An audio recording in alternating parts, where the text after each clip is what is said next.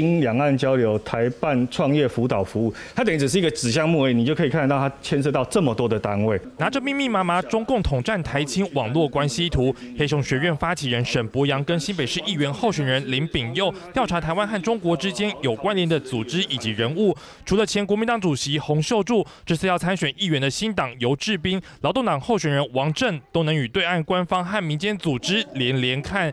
其中中华民族志工党最高顾问就是国民党桃园市市长候选人张善政。志工党像我们早期台湾的一些村里长去中国，其实都跟这政党有关，中国的一个节点呢，就是他们可以透过他去接触到台湾，可以被接触的人。必须跟中国有一个很密切官方的这种特权的需求的时候，配合中国的统战的需要。自工党只是一个比较代表，就是我们目前发现蛮有代表性的一个一个政党。中华民族志工党长期在对岸活动，二零一六年起在北京、福建、辽宁、湖南等地举行青年干部研习营。二零一七年贵州青年创新高峰论坛，创新交流团访问广西，学者质疑志工党等亲中政党已然成为中国在台统战代理人。他们其实有一个非常复杂交换。资讯这个呃经费的过程，特别轻重的台商，他在台湾协助成立了一个。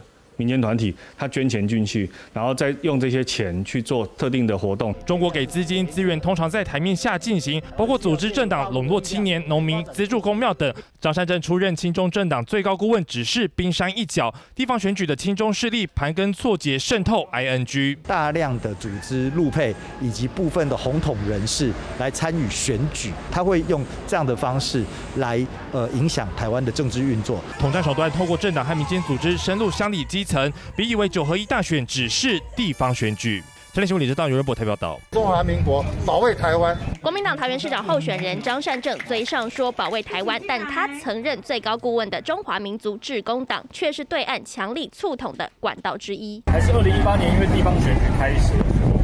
秀才人情纸一张，这个顾问就是一张聘书。最高顾问当多久？张善政不愿意说明。而熟悉致公党的人士透露，从二零一八年起，陈伯光担任致公党主席，张善政就接下最高顾问职务。张善政主要就是哎挂个名，就是等等于帮他们打个名号这样子。